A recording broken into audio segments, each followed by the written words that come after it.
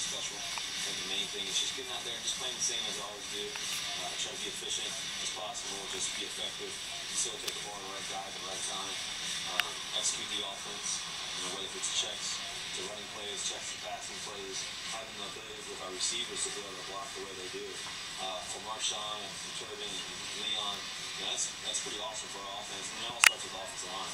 Their ability to, to move around, to pull, and to, and to move their feet and block block guys and get big gains is, is crucial. From one Wisconsin quarterback to another, Seahawks offense coordinator Darrell Bevell led the Wisconsin Badgers to the 1994 Rose Bowl win. I like to bring that up, Darrell, because you know it's not often that you get to relive the old days. So we're going to do that. Look, talk a little bit about the game. Sounds good. it seems like it was yesterday, but I'm sure it's much longer than that. well, you look you're a young guy. Looks like it could be yesterday coming up. You got a, a, just a nasty defense led by Clay Matthews. He comes into the weekend with six sacks to lead the NFL. Packers lead the NFL with 11 sacks total.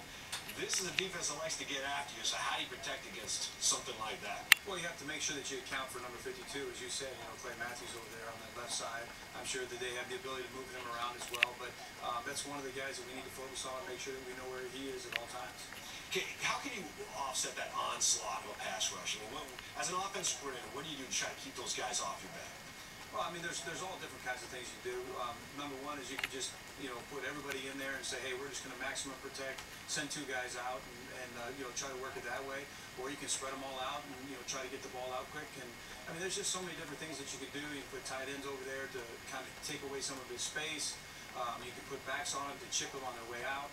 Um, but we'll, we'll try to use a combination of all those things. Yeah, well, it also helps to have a quarterback like Russell Wilson who can get away with his feet, real good, real good athletic ability. Um, you talk about Russell's progression from week one, where he seemed to